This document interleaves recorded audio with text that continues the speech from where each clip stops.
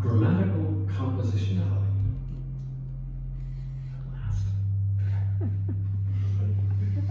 Grammatical compositionality is the principle that the meaning of an expression is determined by the meaning of its parts and their method of composition.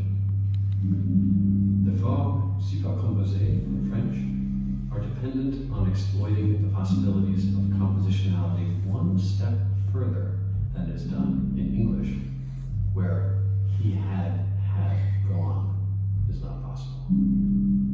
Even in French, however, the compositionality is not recursive. One, il avait eu rassemblé, but not two, il avait eu, eu rassemblé.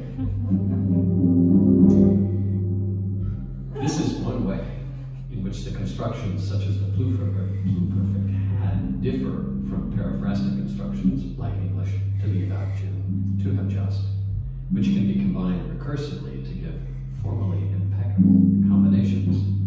I was about to, about to, about to, about to go.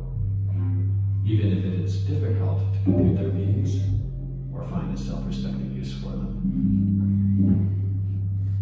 He had, had gone. He had, had gone.